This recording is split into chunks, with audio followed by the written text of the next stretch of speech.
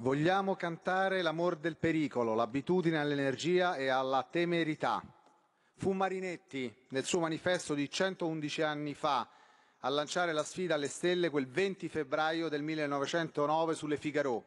Il manifesto ottenne notorietà internazionale, ma rimarchiamo come fosse prima apparso su giornali italiani. I futuristi scrivevano libri che facevano discutere fondavano riviste che usavano come martelli per scuotere coscienze e formare una classe di innovatori, degli allegri incendiari. Al centro del futurismo è l'uomo nuovo, il mondo nuovo, che per i futuristi è in realtà un disordine nuovo, ma creativo. Il futurismo è senza confini, fenomeno mondiale, ma al tempo stesso è pervaso d'amor d'Italia e nazionalismo.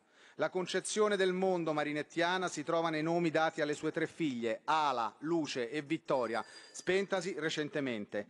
Memoria della famiglia Marinetti tenuta viva da Francesca Barbi Marinetti e dagli altri discendenti.